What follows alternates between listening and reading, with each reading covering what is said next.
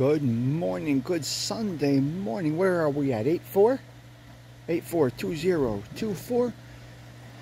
We got a cloudy sky up above, but that's okay. That's okay. It's nice. The sun may peek through. We'll see. Who knows? But be that as it may, we're going to do the telecast poolside. We're going to hang out, chill, and chat about this and that. And yeah, that's what we're going to do. The pool's nice and clean. Doing my work this morning, getting the bar ready.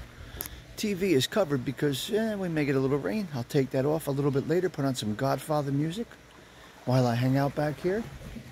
And uh, that's it. I'll see you guys around 7.30 a.m. for Sunday coffee.